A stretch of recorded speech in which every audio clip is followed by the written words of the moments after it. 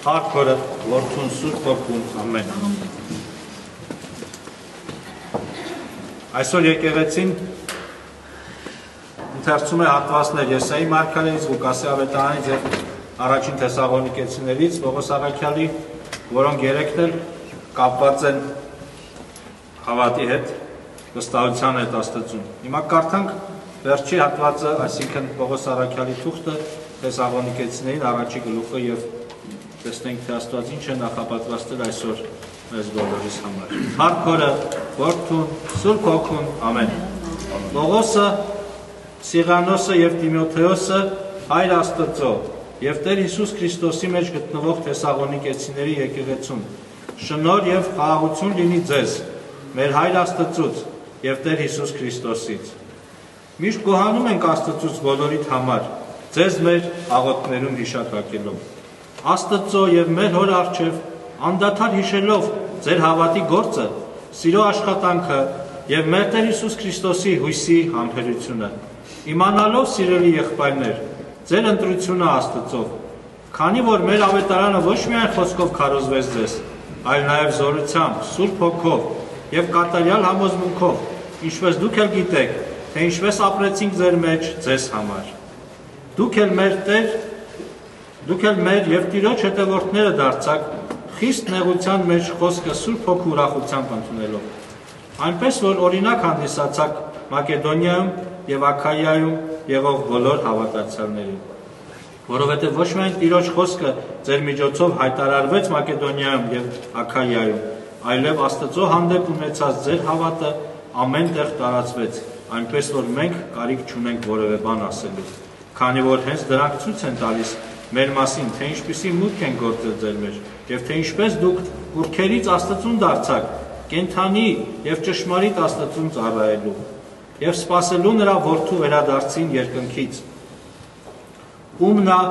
հարուցանեց մեռելներից, այսինքն Հիսուսի, որ փրկեց մեզ գալիք բարկությունից։ Փառք Աստծո իր ասուր խոսքի համար որ այսօր մենք կարդացինք։ Մի քանի բան ուզում եմ ուշադիր լինենք, սիրելի քույրերս եւ եղբայրներս։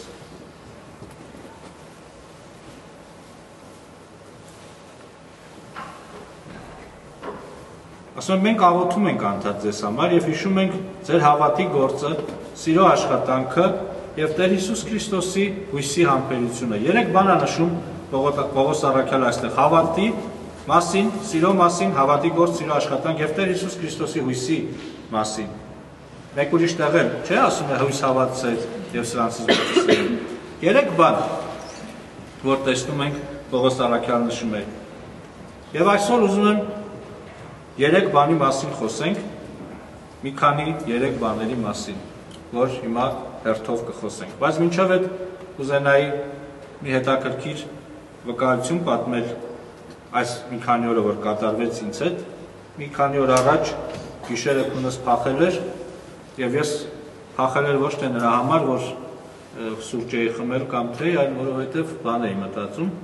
եւ երկար մտածում էի Աստծո գործերի մասին եւ Աստծուն հարցեր էի տալիս։ Աստծուն հարցեր էի տալիս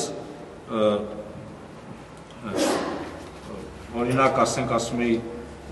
սատանանով ա որ մենք որ հավատացյալ ենք կամ էս ների ինքով ա որ ինչ իրավունք ունի մեր վրա մենք որ քո անունն ենք կանչում կամ ոնց կարապատայի որ մենք հավատացյալ լինելով մեր երեխաները ասենք անհավատ դառնան կամ աստծո ճանապարհը չբռնեն ինչ ես դու թույլ տալիս որ ընտանիքների մեջ խրձժություններ լինեն քո զավակների ընտանիքների մեջ եւ այսպես մոտավորապես այսպես եւ ուրիշ աստվածաբանական այսպես հարցեր որի մասին հիմա չեմ ուզում շատ ծանրանամ Հարցը էսի չէր, հարցն էր, որ ինչպես Տերը պատասխանեց ինձ, ուզում սա պատմեմ Եվ այսպես, երբ որ մտածում էի եւ մտորում էի, եւ ցավն էր, որ այս հարցերի պատասխանները ես ինքս գիտեի, եւ եթե մեկը գար ինձ այս հարցերը հիմա մեկը որ գա ինձ հարցին ես հարցերի, ես պատասխանեմ իրան, ես ճիշտ պատասխանը գիտեմ ճիշտ աստվածաբանական պատասխանը, բայց սա ավելի խորը այսպես պատասխան է, ավելի այդպես բացատրություն է ուզում, աստծո ավելի խորը մակարդակի հետ կապված որպեսի վայելեմ Աստծո ներկայությունը, ոչ թե ուղղակի պատասխանները իմանամ, ճիշտ պատասխանները իմանամ։ ըստ ճիշտ այսինքն դառնա իմ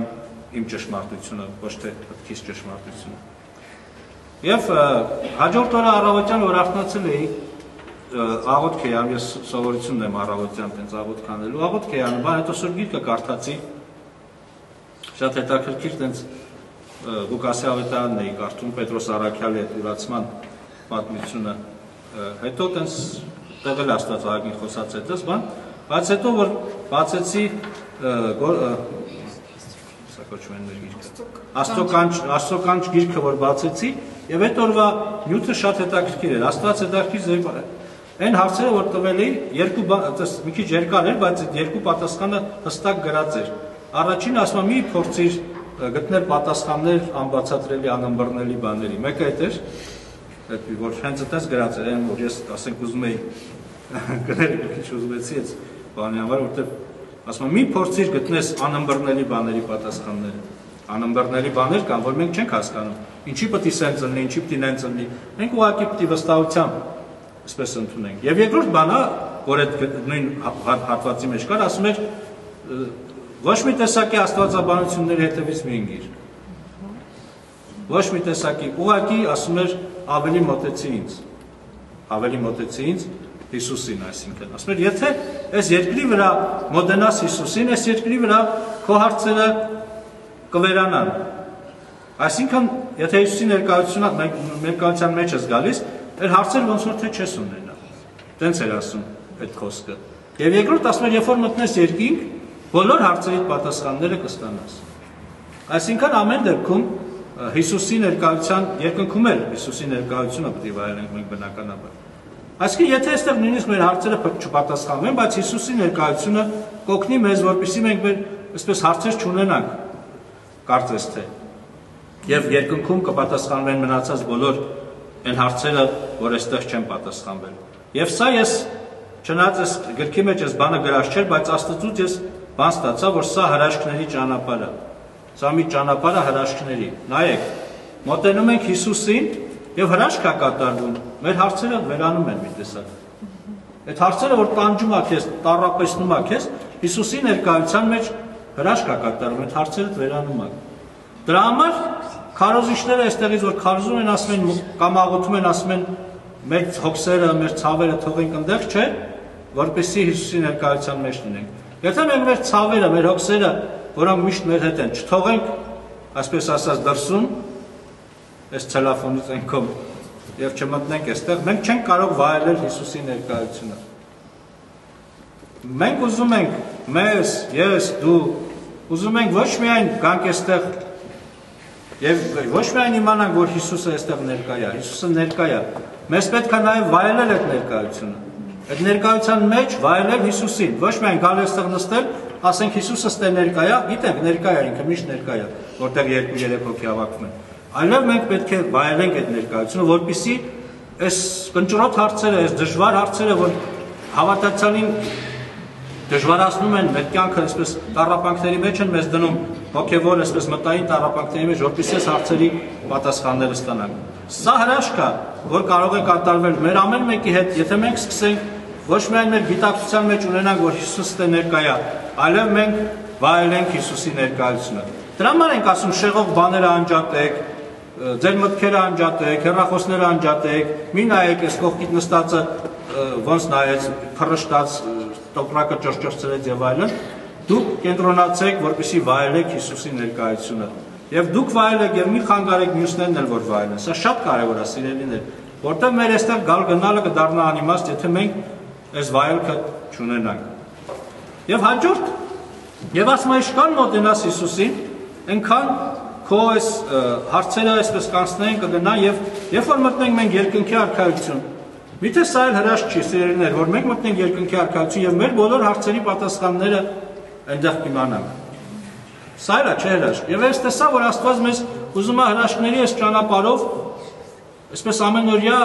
Քրիստոսին ավելի մոտենալու, Աստծուն ավելի մերձենալու, այսպեսի ճանապարհով մեզ առաջնորդի եւ մենք հրաշքի հրաշքի միջոցով, Աստծո ներկայության հրաշքի միջոցով մենք մաքրվենք, մեր սիրտը փոխվի, մեր միտքը մտքերը փոխվեն եւ մենք ամբողջովին դառնանք Տիրոջ այն ծառաները, այն աղոլույսը, որ Աստված ուզում է մեզ։ Ինչ է նշանակում աղոլույս։ Ինչ անշնակում աղ, ինչ անշնակում լույս։ Մենք շատ լավ բաներ գիտենք։ Ես այսօր ուզում եմ մեկ մեկ նոր տեսանկյուն ասեմ ձեզ, որ ոչ թե հերքում է մնացած բոլոր տեսանկյունները, այլև կարող է լրացնի, ինչպես այդ Աստված խոսել էր սրտիս հետ, ուզում եմ այսօր կիսվել։ Մենք այսպեսի երկու բան եմ ուզում ձեզ ասել, սիրելիներ։ Մենք պետք է աղ լինենք, աղը չերևացող բան է։ Աղը որ գցում ես ճաշի մեջ կորում է ջրի մեջ, չէ՞։ Մենք պետք է աղ լինենք չերևացող տեղը, որտեղ է չերևացող տեղը։ Մեր ընտանիքը։ Մեր ընտանիքի մեջ մենք պետք է աղ լինենք։ Եվ լույս պիտի լինենք երևացող տեղը, դրսերում այսինքն։ Եվ Հիսուս ուզում է որ մենք աղ ու լույս լինենք։ Մեր ընտանիքի մեջ մենք պետք չի որ ավետարանը քարոզենք, ես մենք տեղ լինենք, այսինքն մեր հավատը, մեր ավետարանը պետք է մեր կյանքը լինի, որ այսպես տարածվի։ Մեր ընտանիքի մեջ եւ մեր ընտանիքը պետքա բժշկվի։ Աղը կանգնեցնում է փտախտը, փտությունը, այդպես նեղությունը, նեղացու, նեղվածությունը։ Մեր աղը, եթե մենք աղ լինենք, մեր ընտանիքի մեջ ես բաները այսպես ուրեմն կվերանա։ Եթե մեր ընտանիքի մեջ դեռևս խնդիրներ կան, եւ չենք կարողանում այս խնդիրների լուծումը գտնենք, խնդրենք մեր մեջ, միգուցե մենք աղ չենք։ Մենք միգուցե լույս ենք աշխատում մեր ընտանիքի մեջ։ Ավետարան ենք քարոզում փոխանակ ապրենք եւ այդ բանը վերանա։ Եվ դրսում անհավատների մեջ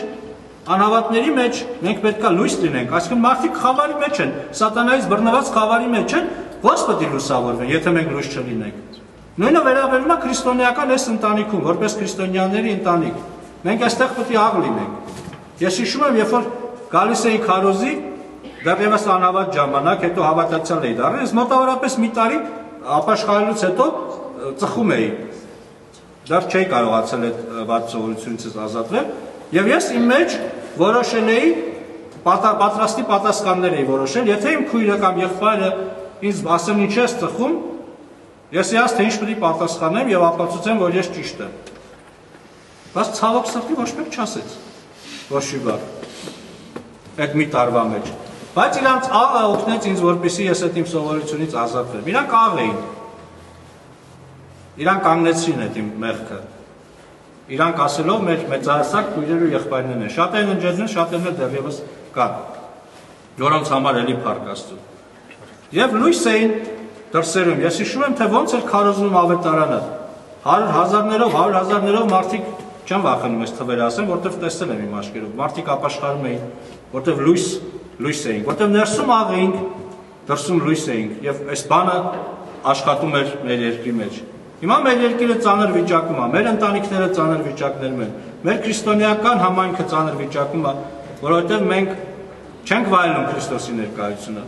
Մենք գալիս ենք իմանալով, որ Քրիստոսը ստեյա, լսում ենք խոսքը, ասում ենք՝ «Մա լավ էր, բան կամ վատ էր» ու գնում ենք տուն։ Բայց մենք այստեղ մենք նպատակ ունենք վայելելու Քրիստոսի ներկայությունը։ Եկեղեցու հայրերը հավատը բաժանում են հավատացյալներին ավելի շուտ բաժանում են 3 մասի, 3 հիմնական մասի, մասերի։ Ասում են կան հավատացյալներ, որոնք ստրուկ են, կան հավատացյալներ, որոնք վարձկան են, կան հավատացյալներ, որոնք ворթիներ են։ Ինչ ասա նշանակում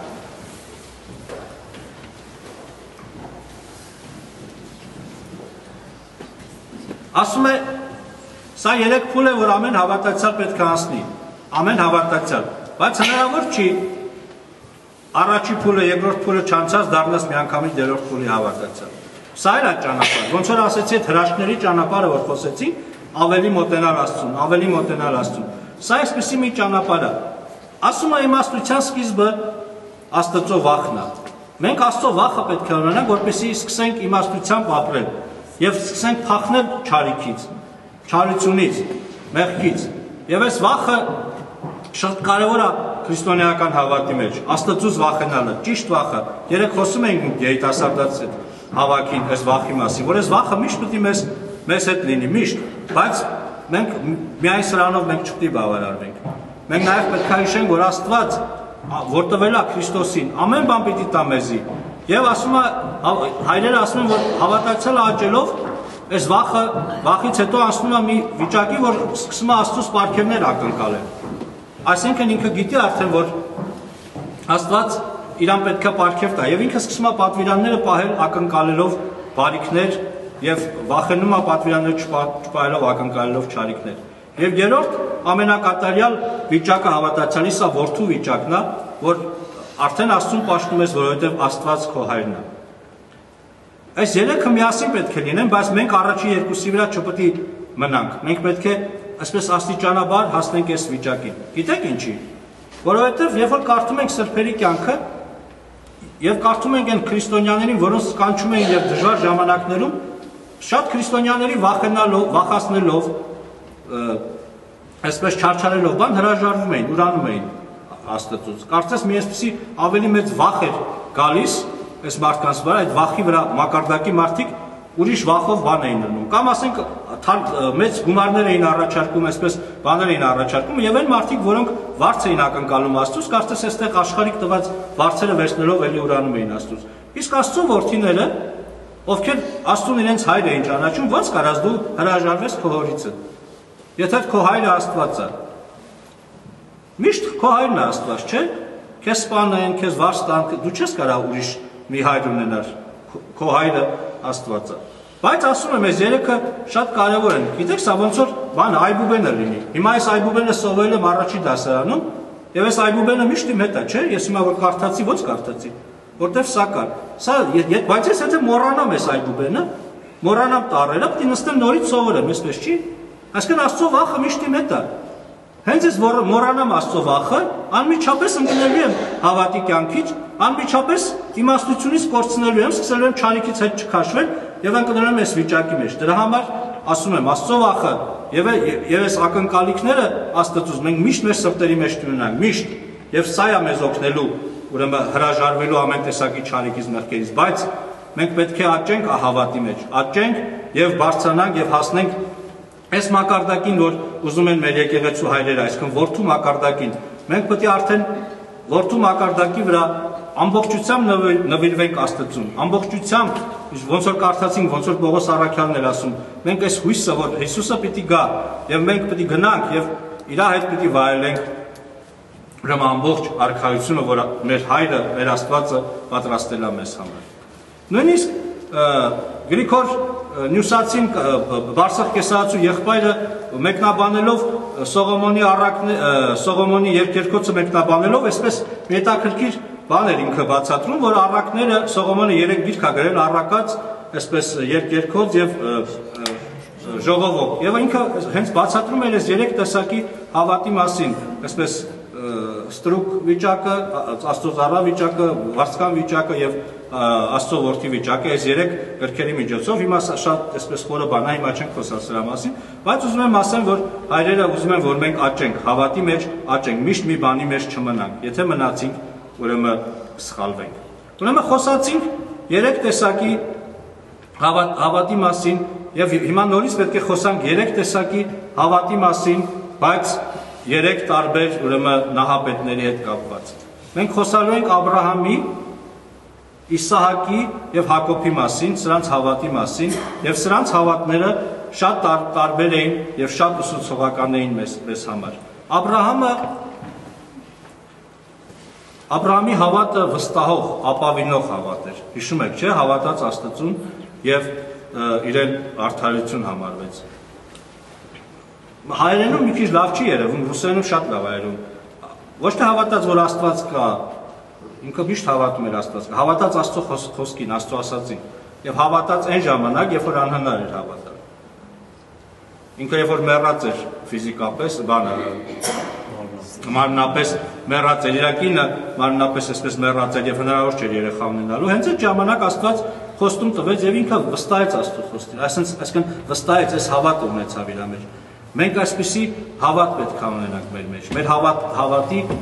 ուրեմն արտացոլումներից մեկը հավատի էս բանի մեկը պետք է լինի մեր հայր Աբ รา համի նման ապավինող հավատ։ Մենք պետք է ամեն պարագայում ապավինենք Աստծուն։ Մեր խելքը, որ մեզ ասում է ուրիշ բան, մեր կյանքի փորձը մեզ ասում է ուրիշ բան, մեր շրջապատի այսպես անալիզները մեզ ասում են ուրիշ բան։ Եվ եթե Աստված ասում է այդ ամեն ինչին, ի հեճուկս այդ ամեն ինչի Աստված ուրիշ բան ասում, մենք պետք է Աստծուն հավատանք։ Վստահենք Վստահենք, որ Աստված է ճշմարտություն։ Ամեն ինչ սուտ է, Աստված է ճիշտը, Աստված է ճշմարտությունը։ Սա էր Աբ รา համի հավատը, որ ապավինող էր եւ այսպես վստահող հավատ էր։ Մեր Իսահակ հայրը խոնարհության հավատին, այսպես խոնարհության հավատի մի այսպեսի տիպար էր, որովհետև հիշեք, ինչպիսի մարդ էր Իսահակը, երբ որ Աբ รา համը տարավ մինչև մահ խոնարհվեց, մինչև մահ նվիրվեց, չէ՞, որտեղ Աստված էր ասել։ Ինքը իմանալով, որ Աստված իր հորը ասել է, որ պիտի զոհ լինի, ինքը ինքը մինչև վերջ որոշեց զոհվել հանուն Աստծո խոսքի։ Սարսափելի բան էր։ Ինքը Իսահակի համար Աստված այսպես սարսափ կարծես դարձավ, բայց մինչև վերջ խոնարհվեց, մինչև վերջ ուզեցավ հնազանդվի։ Մենք էլ որպես հավատացյալներ պետքա սովորենք ոչ միայն մեր հայր Աբ รา համից, այլև մեր հայր Իսահակից, որ մինչև վերջ խոնարհվենք Աստծո ասասների ասասներին։ Եթե նույնիսկ սարսափելի բան մեզ թվա, եթե նույնիսկ Աստված ասում է հրաժարվիր ամեն ինչից, նույնիսկ քո կյանքից, կամ ուրիշ տեղեր կարդում ենք ավետարանը, մեզ վախենալու է թվում, ասում ենք չեն կարող, մենք պետք է Իսահակից խրատ վերցնենք եւ հնազանդվենք մինչեւ վերջ, խոնարհվենք մինչեւ վերջ եւ խոնար հավատ ունենանք։ Մեր հավատը պետք է լինի ապավինող Աբ รา համի նման եւ խոնար Իսահակի նման։ Եվ երրորդ հավատի տեսակը, որ ցույց է տալիս մեր հա, երրորդ հայրը, սա Հակոբն էր, որը տիպար էր, որը մարմնավորում էր մարտնչող այսպես հավատի էությունը ինքը մարտնչող մարդ էր հիշում եք չէ երբ որ հրեշտակի հետ այո գոտեմարտի մեջ մտավ եւ իր անունը փոխվեց այն աստիճանի բռնել էր չէր թողում ես հրեշտակին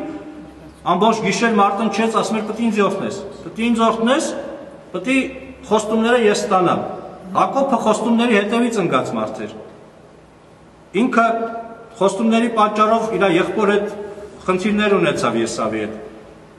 Խոստումների պատճառով երկար տարիներ պանդուխտ եղավ ուրիշ երկրում, վերադարձավ եւ ինքը մտնելու էր խոստացված երկիրը, Աբ รา համին խոստացված երկիրը եւ ինքը բռնել էր հրեշտակին եւ ասում էր՝ «Պետք է ինձ օրհնես, պետք է խոստումները ես ժառանգեմ, ես ու իմ սերունդը»։ Այսպես մարտնչում էր Աստծո համար, Աստծո խոսքի համար մարտնչող մեկն էր եւ փոխվեց իր անունը Իսրայել։ Մենք էլ ունենք խոստումներ Աստծուց։ Մենք պետք է կարճենք այս խոստումներին։ Կարճենք եւ այնքան մինչեւ Աստված իր խոստումները կատարի։ Մենք չպետք է այսպես թույլ ոնց բացատրեմ մի անգամ ասենք լավ Աստված ինձ բանա խոստացել չեղավ դե լավ չեղավ չեղավ այսպես չի մենք պետք է Հակոբի նման պայքարենք Աստծո թակավորությունը տարածելու համար եթե Իսրայելը Իսրայելը Հակոբ Իսրայել ժողովուրդը Աբ รา համի նման չապավիներ Աստծուն Իսահակի նման չխոնարհվեր Աստծո արչև եւ Հակոբի նման չմարտնչեր, ինքը երբեք չէր ժառանգի այդ խոստացված երկիրը։ Ամբողջ Իսրայելի պատմությունը, որ նայում ենք, հենց Հակոբի, Իսա բան Աբ รา համի, Իսահակի եւ Հակոբի այս հավատի դրսևորումներն է։ Երբ որ իրանք ապավինում էին Աստծուն, չէին նայում իրանց կողքերը, Ասորեստենն է իրանց կողքը, Եգիպտոսն է, Բաբելոնն է, չգիտեմ ինչ։ Ապավինում էին Աստծուն, ինչև վերջ հավատում էին Աստծո ասածներին, իրանք հաղթանակում էին։ Երբ որ Աստված մի բան էր ասում, իրանք խոնարհվում էին Աստծո ասածին։ Ամեն գնով ուզում էին Աստծո ասածը կատարել, Աստծո խոսքը կատարել, իրենք հաղթանակ էին տանում։ Երբ որ Հակոբի նման պայքարում էին մինչև վերջ, Աստծո թակավորությունը տարածելու համար պայքարում էին, իրենց կյանքն էին նվիրում։ Ամեն բան անում էին, որպեսզի Աստծո խոստումները ժառանգեն, այն ինչ որ խոստացել էր Տեր Աստվածը, իրենք հաղթում էին։ Երբ որ թողում էին, երբ որ նայում էին իրենց նայում էին այսպես իրեն շրջապատին, երբ որ նայում էին հեթանոսների զորությանը, երբ որ չէին հավատում մարգարեների ասածներին, իրանք միշտ պարտվում էին։ Սա կարող են մենք մեր վրա էլ վերցնել։ Նույն բաները սիրելիներ։ Ինչ որ Աստված ասում է մեզ, ինչ որ Աստված հրամայում է մեզ, մենք պետք է ապավինենք Աստծո խոստումներին, մենք պետք է խոնար լինենք Աստծո խոսքը կատարելու համար։ Մինչև վերջ համբերենք եւ մենք պետք է մարտնչենք մեր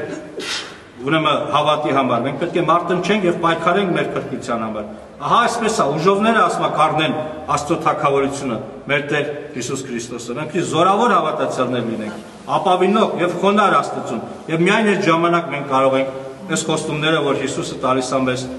ուրեմն վերցնենք եւ ուրեմն բանանենք։ Եվ ասեցի, որ ես սկզբում վկայություն տվեցի եւ քանի որ ժամանակ կա, այս փոքրիկ հատվածներ խոսանք Պետրոս Արաքյալի մասին, երբ որ Հիսուսը Պետրոս Արաքյալին ասեց դու երեք անգամ ինձ կուրանաս, Աստված կարծես սրտիս հետ խոսեց, որ մենք շատ հաճախ ուրանում ենք այս երեք տեսակի հավատի մեջ։ Գիտեք, Աստծո։ Մենք մեզ թվում է, թե մենք ապավինող ենք, մեզ թվում է, թե մենք խոնար ենք, մեզ թվում է, թե մենք մարտնչում ենք հավատի համար, եւ մեզ ճիշտ է թվում։ Ոնց որ մեր սիրելի Պետրոսին էր ճիշտ թվում։ Ինքը ասում էր, ես մինչև մահ կգամ քեզ հետ։ Իսկ մտածում են ինքը մարտնչող, այսպես հավատացել է։ Ասում էր, ես մինչև ես ով էլ քեզ բանանի, ես չեմ դավաճանի։ Ինքը ապավինում էր իր այս բանին։ Եվ ինքը մտածում էր ինքը խոնար է եւ բոլոր աշակերտները լքեցին, միայն ինքը գնաց հետևեց Հիսուսին հասավ մինչև այդտեղ։ Բայց ցավոք սրտի մենք տեսանք, որ Հիսուսը ճիշտը գիտեր իր մասին եւ ինքն էլ ճիշտը իմացավ եւ ապաշխարեց եւ դարձի եկավ եւ այս բոլոր բաները, բոլոր այս իր այս ներքին մարդը ապակինվեց, բժշկվեց եւ ինքը դարձավ այն վեմը, որի վրա մեր Տեր Հիսուս Քրիստոսը կառուցեց իր սուրբ եկեղեցին։ Մեզ էլ կարող է թվա, որ մենք ապավինող հավատ ունենք։ Ես չեմ ուզում էսի պատմեմ, որ մենք Պետրոսի մասին մտածենք ուրախանանք, ոնց որ անում են հաճախ։ Ես այս բանը պատմեցի, որ Աստված խոսել էր սրտից քարոզի սկզբում եւ Պետրոս Արաքյալի միջոցով։ Ինձ էս էր խոսել, հիմա այդ եմ ձեզ փոխանցում։ Ես շատ հաճախ մտածում եմ, որ ես ապավինող հավատ ունեմ Պետրոսի նման հա, ապավինում եմ, որ ասեմ վստահում եմ Աստծո խոսքին, բայց Աստված նայում է իմ սրտի մեջ, դեռ ես իր խոսքին չեմ վստահում։ Իսկ թվում է, թե ես վստահում եմ, բայց Աստված գիտի, որ ես չեմ վստահում։ Այսինքն ես ինքնախապեյության մեջ եմ։ Եվ ես մտածում եմ, որ Լևոնը չի վստահում։ Ես վստահում եմ։ Ինքնախապեյության մեջ լինող մարդը միշտ ուրիշների վրա բաներ է տեսնում։ Ես մտածում եմ, որ ես խոնար եմ, Աստծո ասածները անում եմ, Մտածում եմ այն բաների մասին միշտ, որ ես անում եմ եւ մոռանում եմ այն բաների մասին, շատ ավելի շատ բաների մասին, որ ես չեմ անում։ Չէ՞։ Եվ ես մտածում եմ, որ ես մարտնչող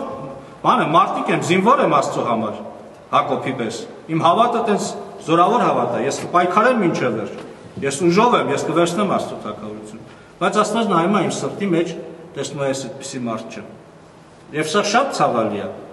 եթե ես ինքնախապեյության մեջ եմ։ Եվ Աստված խոսեց սրտից,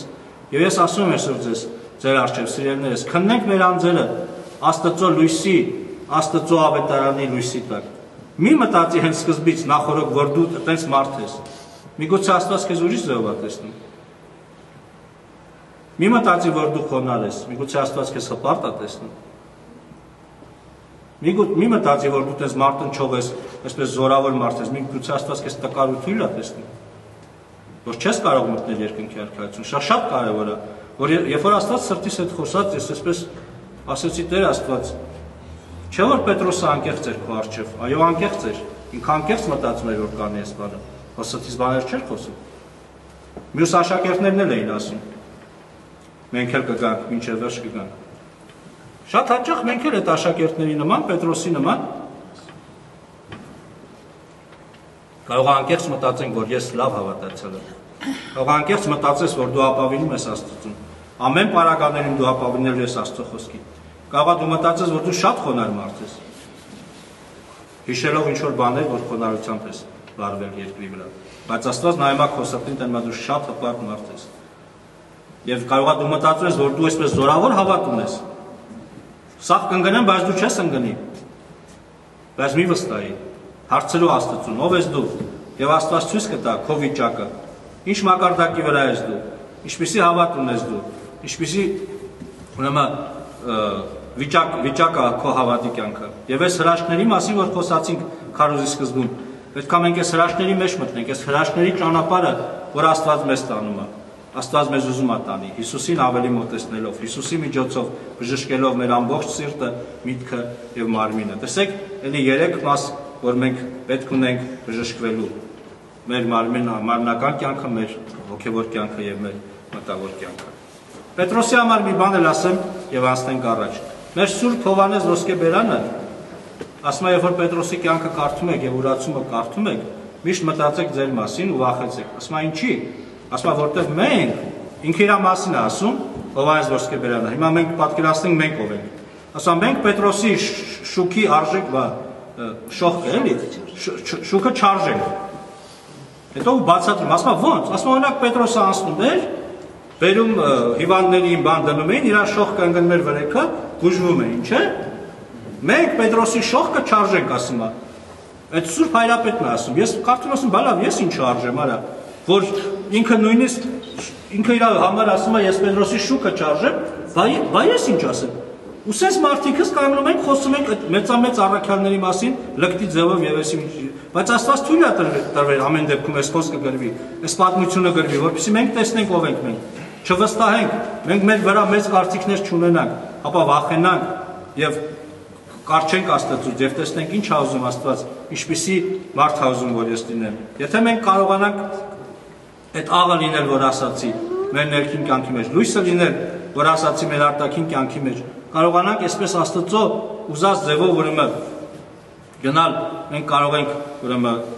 Աստծո ուզած մարդիկ լինենք, Աստծո ուզած զավակները լինենք, Աստծո ուզած սերունդը լինենք այս աշխարհի վրա եւ կարող ենք օրհնություն եւ այսպես բժշկություն լինել թե մեր ընտանիքներում, թե մեր շրջապատի մեջ, թե մեր եկեղեցու մեջ, թե մեր ժողովրդի մեջ եւ կարող ենք այս խոստումները, այս ամբողջ զորությունը, որ Աստված տալիս է մեզ ամբողջությամբ օգտագործել։ Ուրեմն որ ես մտածում էի գիշերը այս բաների մասին եւ ասում էի, «Է Աստված, բա ոնց պետք է լինի, բա այս բանը ոնց կարա լինի»։ Իմ բան ոնց կարա լինի։ Հիշում եք, որ Աստված պատասխանեց, ասեց, այդ բաների մասին մի մտածի։ Դրանք անբացատրելի, անըմբռնելի բաներ են։ Ես գիտեմ ինչ եմ այսպես անում։ Դու մոտեցիր Հիսուսին։ Դու Հիսուսի ներկայության մեջ եղիր։ Վայելիր Հիսուսի ներկայություն եւ քո բոլոր հարցերը կմոռան կմոռացվեն, այսպես կանցնեն։ Եվ եթե ինչ-որ հարցեր մնան, որոնք անպատասխան կմնան այս երկրի վրա, երբ որ մտնենք երկինք, երբ որ վայելենք Հիսուսի ներկայությունը երկնքում, մեր բոլոր հարցերի պատասխանները մենք կստանանք։ Ինչ լավ է, չէ՞։ Սիրելի քույրերս եւ եղբայրներս, Աստված ինչ խոստումներ է տալիս մեզ իր զավակներին։ Եվ ուզում է, որպեսզի մենք զարգացնենք մեր հավատը։ Ուզում որ մենք զարգացնենք մեր քրիստոնեական ընթացքը։ Չի ուզում որ նույն տեղում մնանք։ Չի ուզում որ մենք այսպես քարացած ստանդարտ բաների մեջ մնանք, Աստված ուզում է որպեսզի մենք աճենք փառքից փառք, ավելի ավելի նմանվենք Հիսուսին, ավելի ավելի Աստծուն ուրեմն մերձենանք, որպեսզի մարդիկ մեզ տեսնելով հասկանան, որ մենք Աստծո զավակներն ենք, հասկանան, որ մենք Աստծուց մեր ներսը բան ունենք, տեսնենք, որ Սուրբ Հոգին, որ Աստված տալիս է, այսպես բոլորիս վրա տեսնեն եւ փառավորեն Աստծուն։ Քանի որ ժամանակը վերջանում է այսօր այսքանով ուրեմն կավարտենք եւ խնդրեմ որպեսի մտածենք այս բաների մասին, որ ասացի, որպեսի իրոք Աստված մեր սրտերի մեջ փառավորվի։ Եվ մենք կարողանանք ամեն, այսպես մեր ամբողջ էությամբ, մեր ամբողջ բանով սիրենք Աստծուն եւ նվիրվենք իրաց։ Լավ, երեք բանի մասին էլ խոսեմ, մեկ ուրիշ երեք բանի մասին, որ կարդացինք այսօր ավետարանի մեջ Պողոս Արաքյալի թղթի մեջ ինքը խոսում էր հավատի, սիրո եւ հույսի մասին արդացինք այդ հատվածը, որ այսօր եկեղեցին կարդում էր նորից ուրեմն կարդանք, որպեսզի ավելի հստակ լինի։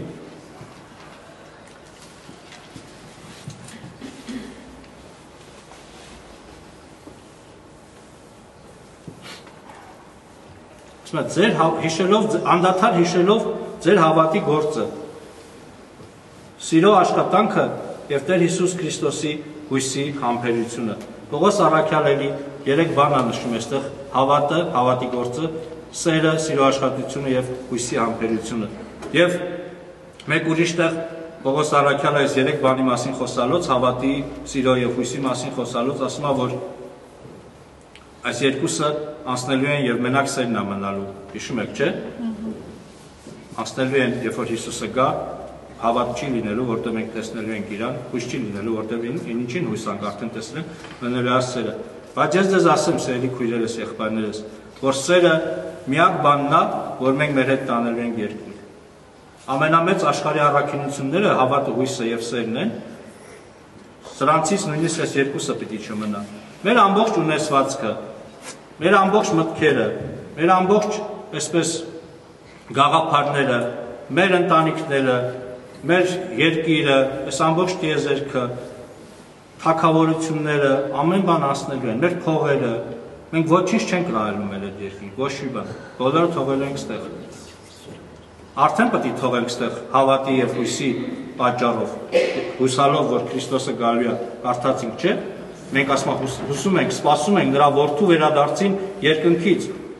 ում նա հարուցանեց մեռելներից, այսինքն Հիսուսին, որ փրկեց մեզ գալիք բարկությունից։ Այսինքն գալիք բարկությունից փրկող Հիսուս, Հիսուսի վրա, իր երկրորդ գալուստի վրա մեր, մեր հույսը դնելով, հավատալով սրան, մենք արդեն ամեն բան պետք է թողենք ստեղ։ Ամեն բան, այս հույսի եւ հավատի համար։ Բայց պատկերացրեք, որ նույնիսկ սրանք են ասնելու, երբ որ Հիսուսը գա, եւ միակ բանը, որ մենք կարող ենք տանել երկինք, Սա է զվարթիական սերն Աստծո հանդեպ, որի մասին խոսում ենք։ Սա է սերն, որ մենք ունենք Աստծո հանդեպ։ Եվ միայն սերը մենք կարող ենք մեր հետ տանել։ Եվ Աստված նայելու է, թե ինչ կանենք, երբ որ մենք գնանք երկինք, Աստված տա բոլորս այստեղ գնանք երկինք, եւ մենք տեսնելու ենք, թե ով է ինչքան շատ սիրում Աստծուն։ Ով է ապավինում Աստծուն։ Ով ինչքան շատ է սիրում Աստծուն, որ Աստծո բոլոր ասասները կատարեց, խոնարհվեց, այսպես ամեն բան թողեց Աստծո համար Եվ մեր այս սերը ցույցատալու, մեր մեջ եղած սերը ցույցատալու մեր ապրած կյանքը։ Եվ սրա համար շատ կարևորվում է սերը։ Դրա համար Հիսուսը ասում է երկու պատվիրան եմ ես ձեզ ասում, ամենակարևոր պատվիրանները, որոնցից կախված են ամբողջ օրենքը, ամբողջ մարգարեությունը։ Սիրիր քո Տեր Աստծուն, ամբողջ մտքով, ամբողջ սրտով, զորությամբ, ամբողջ էությամբ, ամբողջ, չգիտեմ, ինչ ուզում եք ավելացրեք։ Հիսուսը չի բանանի ջղայնանա մեր վրա։ Մեր ամեն ինչով սիրենք Աստծուն, մեր ունեցվածքով, մեր չգիտեմ։ Սա է ամենամեծ պատվիրանը։ Եվ երկրորդը քո ընկերոջը քո անձի պես սիրիր։ Հիսուսը սա ասում է հрьяաներին, որոնք օրենքը գիտեին։ Հետո իր աշակերտներին ասում է նոր պատվիրան եմ տալի. սիրեցեք միմյանց ինչպես ես ձեզ սիրեցի։ Այսինքն քո անձից էլ ավել, ոնց որ Հիսուսը այն ժամանակ ասում է քո անձի պես սիրես, էսի օրենքը կփայես, բայց Աստված չի ուզում որ մենք մենակ օրենքը պայենք։ Ինք ուզում է մենք ավել օրենքից ավելի մի բան ունենանք, ավետարանը, շնորը, եւ այս շնորը սա է, որ սիրեմ իմ ընկերոջը, ինչպես ինքը ինձ սիրեց։ Իմ անձից առավել, Հիսուսը իր անձից առավել, չէ՞ ինձ սիրեց, եկավ մեռավ իմ համար։ Եթե իր անձը իր անձի չափ սիրեց, չէր մեռնի։ Ավելի շատ սիրեց, իր անձը ատեց, իմ, իմ անձը սիրեց, ինձ փրկեց։ Ահա այսպես այս սերը, Աստծո հանդեպ սերը եւ մեր ընկերոջ հանդեպ սերը մենք կտանենք մեր այդ երկինք։ Իսկ որpիսի այս սիրո